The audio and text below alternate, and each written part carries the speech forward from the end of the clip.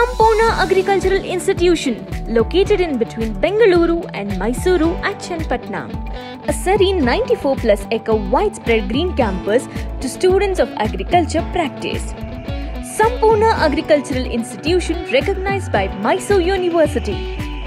The most preferred course by lot of youngsters now, BSc Honours Agriculture or Horticulture. Agricultural science is a global subject slowly gaining scope among the students. Institution always believes in doing something new.